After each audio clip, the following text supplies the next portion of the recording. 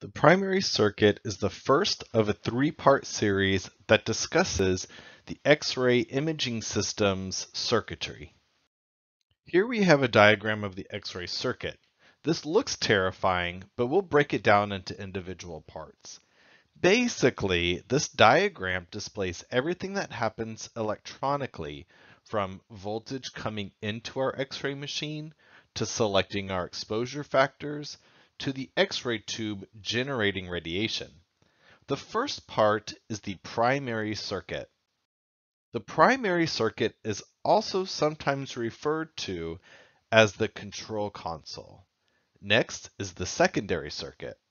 The secondary circuit is also sometimes referred to as the high voltage section. Finally, there's the filament circuit. The filament circuit is also sometimes referred to as the X-ray tube circuit. So for this video, let's just concentrate on the primary circuit. The primary circuit is the first step in us achieving the amount of power we need to produce radiation. Typically, our X-ray tubes require a current of about 100 to 1200 milliamps and a voltage anywhere from 25 to 150 kilovolts. That is some incredible power. But we don't get that incredible power at the very beginning. At the beginning of our circuit is an AC incoming power supply, and this power comes in at about 220 volts. One typical source of power is the three-phase 60 Hz AC power. By using three-phase power, the power never drops to zero, the voltage is nearly constant, and we can use a shorter exposure time. After the power input is the line monitor. This line monitor reads the electron flow into the machine. So if there are any power disruptions, the line monitor will recognize those power disruptions. And if a line monitor recognizes a power disruption, it will cause the line compensator to change incoming voltage back to the steady 220 volts. Luckily, this is all done automatically. If the voltage coming into our equipment is anything other than 220 volts, it will disrupt everything downstream. But probably the biggest component in the primary circuit is the KVP selector. The KVP selector is controlled by an auto transformer. The auto transformer adjusts the voltage to anything between 100 to 400 volts. In this diagram, there is a major KVP selector and a minor KVP selector. Newer units have combined these into one KVP selector. So when you are adjusting KVP on your control console, this is the area you are controlling. There's actually a meter that displays the KVP used. Now you might be wondering, I thought that this area of the circuit only has a voltage of 100 to 400 volts.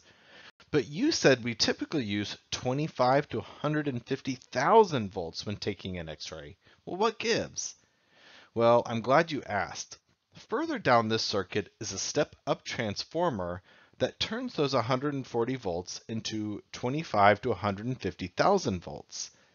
This KVP meter uses a nifty calculation to, to determine what the initial voltage must be because we know what we want the final voltage to be on the secondary side, and we know the number of turns on the primary side of the step-up transformer and the number of turns on the secondary side of the step-up transformer, it can calculate what the voltage needed to be to send to the primary side. For example, if you want to use 150 kVp you would input 150 kVp on the control console.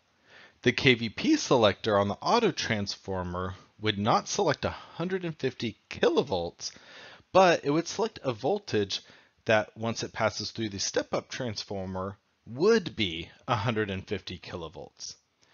So if we do the math, we want voltage on the secondary side to be 150,000 volts.